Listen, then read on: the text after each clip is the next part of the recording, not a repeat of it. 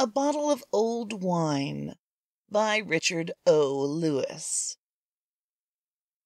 This story appeared in If, Worlds of Science Fiction, July of 1953. Extensive research by Project Gutenberg at gutenberg.org did not uncover any evidence that the U.S. copyright on this publication was renewed.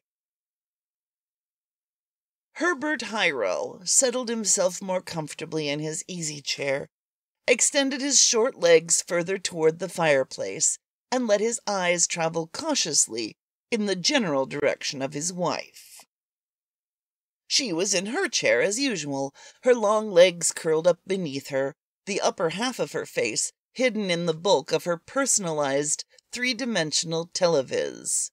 The televis, of a stereoscopic nature, seemingly brought the performers with all their tinsel and color directly into the room of the watcher.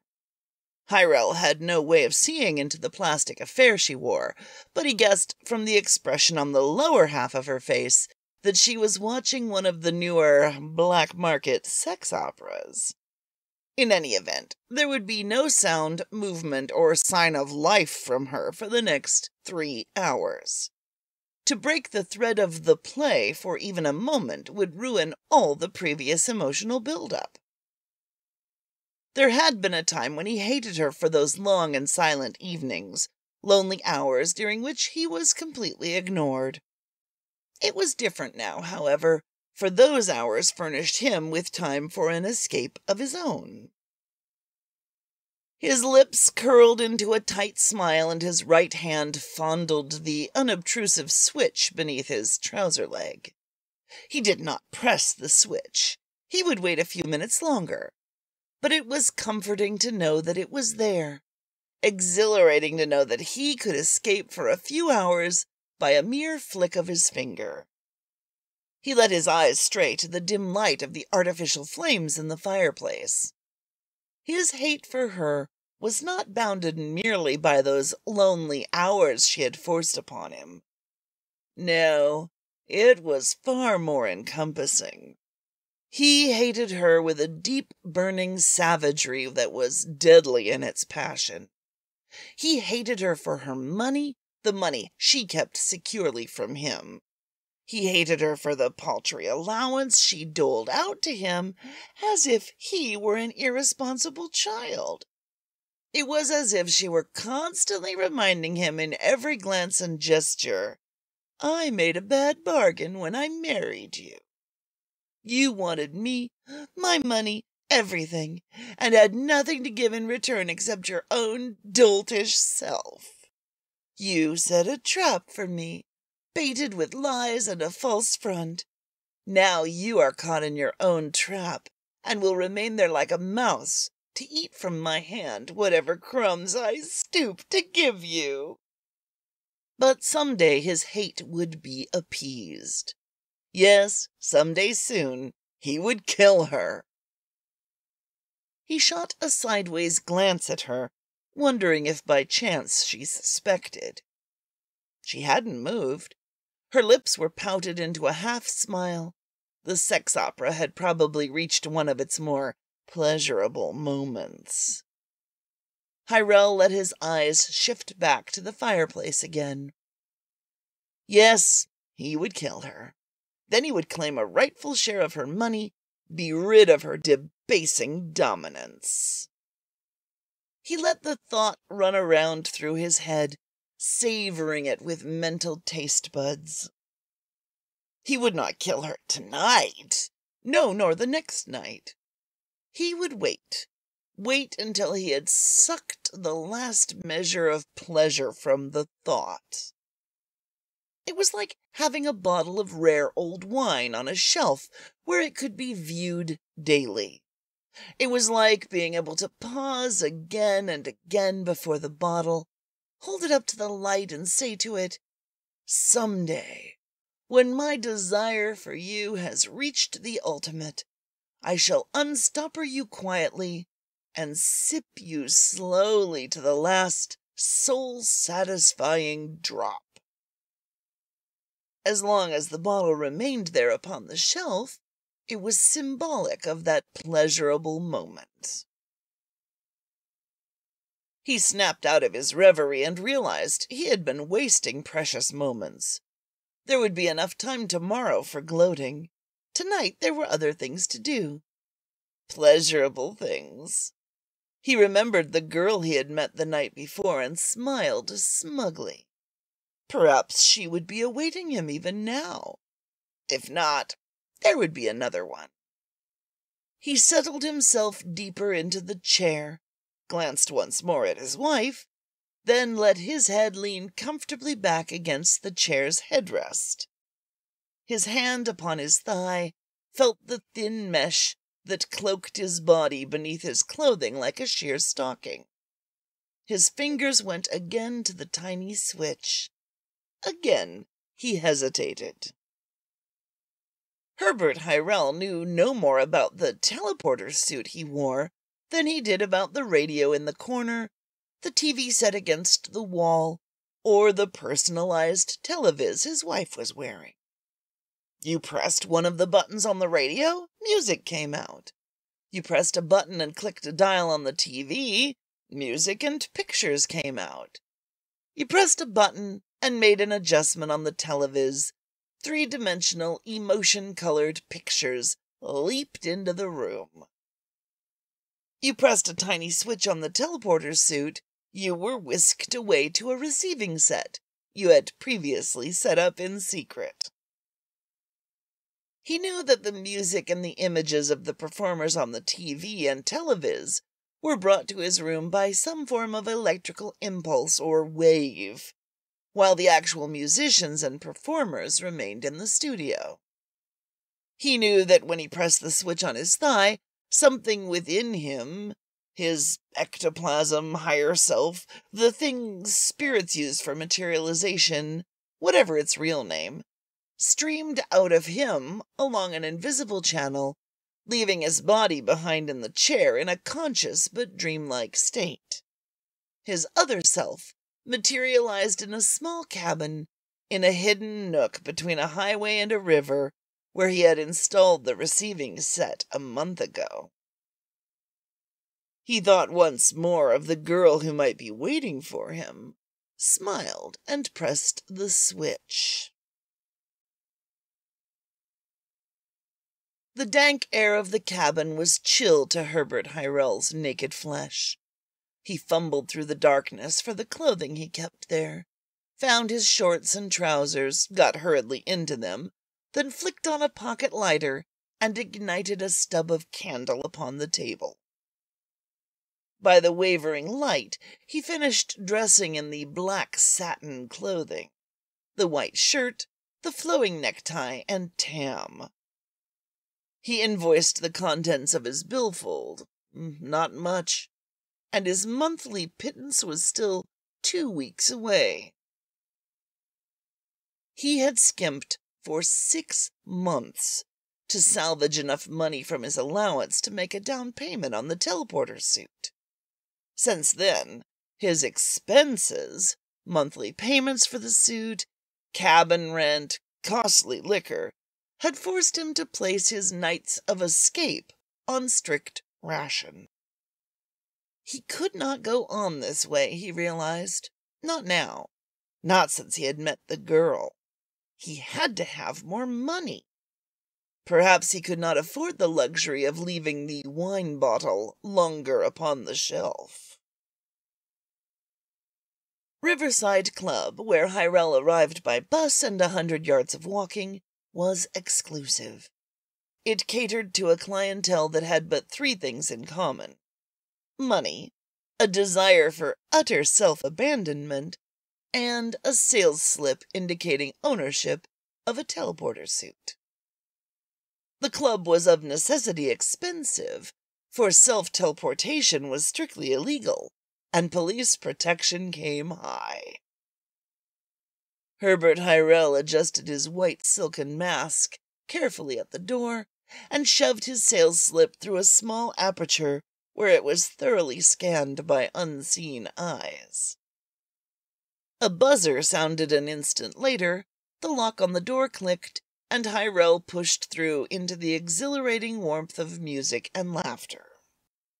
The main room was large. Hidden lights along the walls sent slow beams of red, blue, vermilion, green, yellow, and pink trailing across the domed ceiling in a heterogeneous pattern. The colored beams mingled, diffused, spread, were caught up by mirrors of various tints, which diffused and mingled the lights once more, until the whole effect was an ever-changing panorama of softly melting shades. The gay and bizarre costumes of the masked revelers on the dance floor and at the tables, unearthly in themselves, were made even more so by the altering light. Music flooded the room from unseen sources. Laughter, hysterical, drunken, filled with utter abandonment, came from the dance floor, the tables, and the private booths and rooms hidden cleverly within the walls.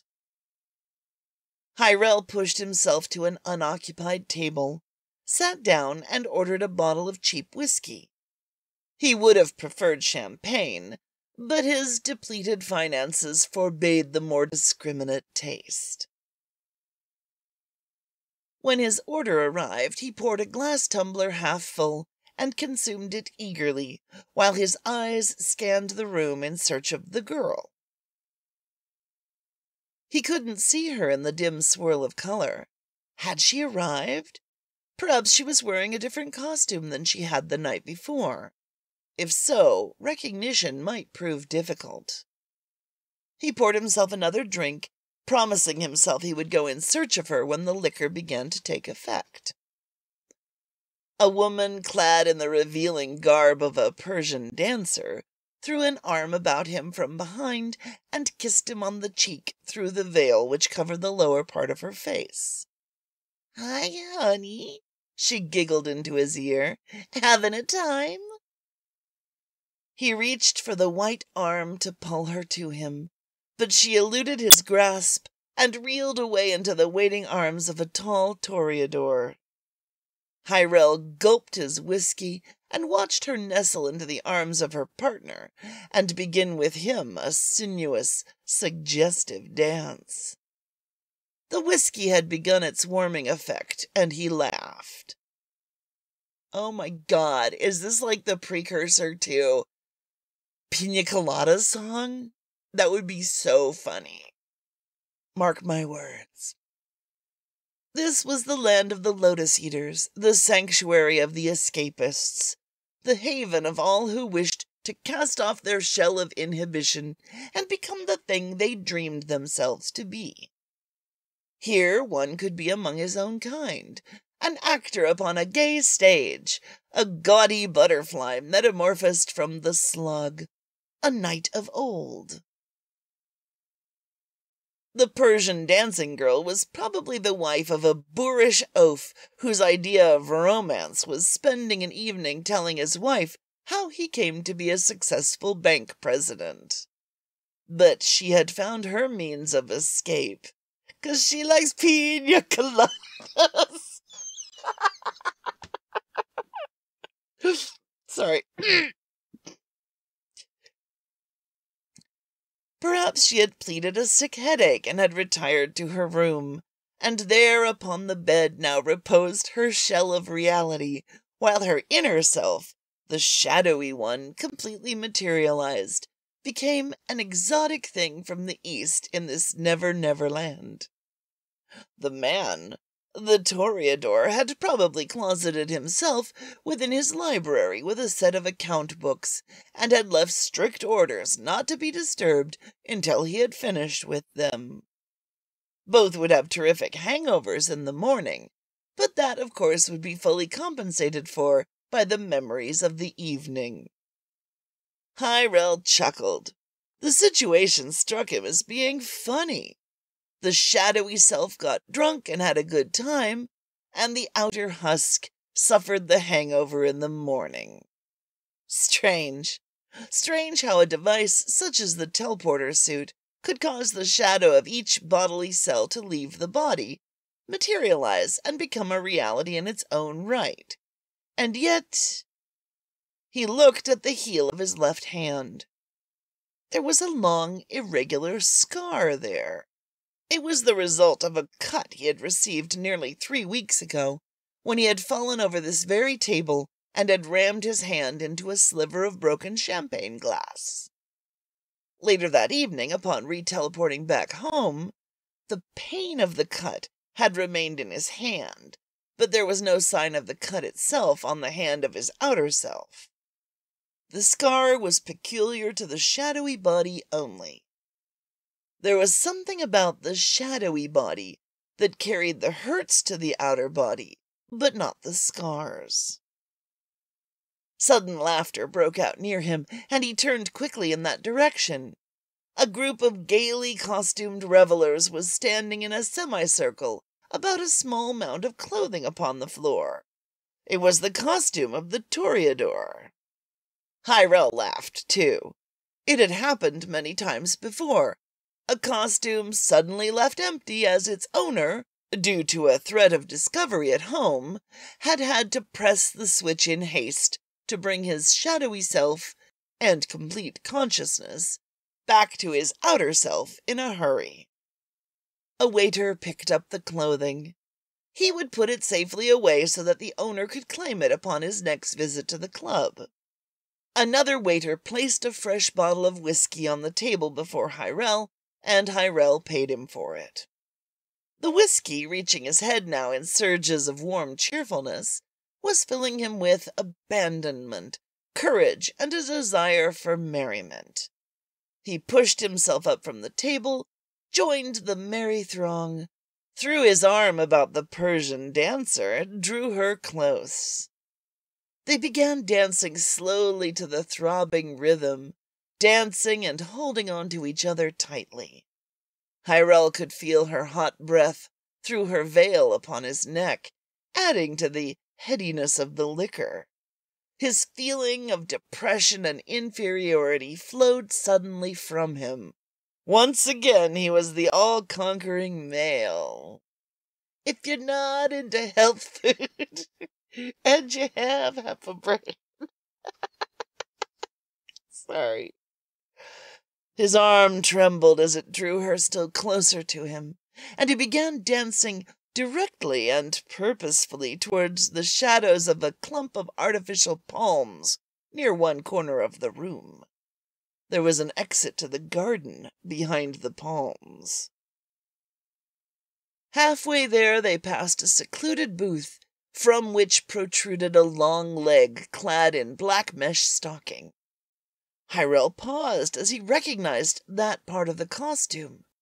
It was she, the girl, the one he had met so briefly the night before.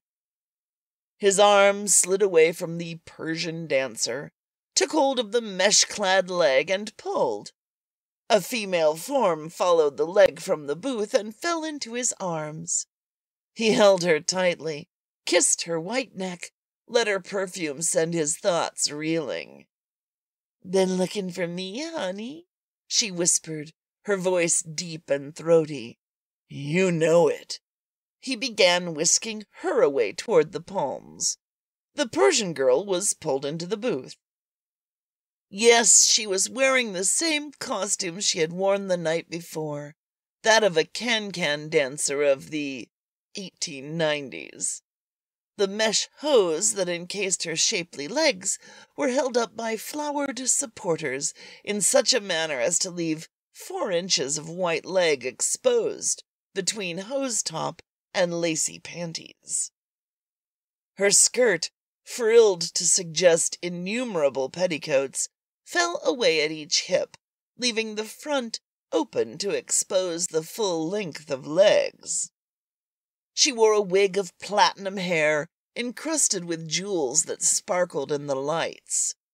Her jewel-studded mask was as white as her hair and covered the upper half of her face, except for the large almond slits for her eyes. A white purse, jewel-crusted, dangled from one arm. He stopped once before reaching the palms, drew her closer, kissed her long and ardently. Then he began pulling her on again. She drew back when they reached the shelter of the fronds. Champagne first, she whispered huskily into his ear. His heart sank. He had very little money left. Well, it might buy a cheap brand. She sipped her champagne slowly and provocatively across the table from him. Her eyes sparkled behind the almond slits of her mask, caught the color changes, and cast them back. She was wearing contact lenses of a garish green. He wished she would hurry with her drink. He had horrible visions of his wife at home, taking off her televis and coming to his chair. He would then have to press the switch that would jerk his shadowy self back along its invisible connecting cord, jerk him back, and leave but a small mound of clothes upon the chair at the table. Deep depression laid hold of him. He would not be able to see her after tonight until he received his monthly dole two weeks hence. She wouldn't wait that long. Someone else would have her. Unless... Yes, he knew now that he was going to kill his wife as soon as the opportunity presented itself. It would be a simple matter. With the aid of the teleporter suit, he could establish an ironclad alibi. He took a long drink of whiskey and looked at the dancers about him. Sight of their gay costumes heightened his depression. He was wearing a cheap suit of satin, all he could afford. But some day soon he would show them. Some time soon he would be dressed as gaily. Something troubling you, honey? His gaze shot back to her, and she blurred slightly before his eyes. No, nothing at all. He summoned a sickly smile and clutched her hand in his. Come on, let's dance. He drew her from the chair and into his arms. She melted toward him as if desiring to become a part of him. A tremor of excitement surged through him and threatened to turn his knees into quivering jelly. He could not make his feet conform to the flooding rhythm of the music. He half stumbled, half pushed her along past the booths. In the shelter of the palms, he drew her savagely to him. Let's let's go outside. His voice was little more than a croak. But, honey, she pushed herself away, her low voice maddening him. Don't you have a private room? A girl doesn't like to be taken outside. Her words bit into his brain like the blade of a hot knife. No, he didn't have a private room at the club like the others. A private room for his teleporter receiver. A private room where he could take a willing guest. No, he couldn't afford it. No, no, no! His lot was a cheap suit of satin, cheap whiskey, cheap champagne, a cheap shack by the river. An inarticulate cry escaped his twisted lips. He clutched her roughly to him and dragged her through the door and into the moonlight, whiskey and anger lending him brutal strength. He pulled her through the deserted garden. All the others had private rooms. He pulled her to the far end, behind a clump of squatty firs. His hands clawed at her. He tried to smother her mouth with kisses. She eluded him deftly. But, honey, her voice had gone deeper into her throat. I just want to be sure about things. If you can't afford one of the private rooms, if you can't afford to show me a good time, if you can't come here real often, the whiskey pounded and throbbed at his brain like blows from an unseen club. His ego curled and twisted within him like a headless serpent. I'll have money, he shouted, struggling to hold her. I'll have plenty of money after tonight. Then we'll wait, she said. We'll wait until tomorrow night. No! he screamed. You don't believe me? You're like the others. You think I'm no good, but I'll show you. I'll show all of you. She had gone coldly rigid in his arms, unyielding. Madness added to the pounding in his brain. Tears welled into his eyes. I'll show you! I'll kill her! Then I'll have money! The hands clutching her shoulders shook her drunkenly. You wait here, I'll go home and kill her now, then I'll be back. Silly boy. Her low laughter rang hollowly in his ears. and just who is it you are going to kill?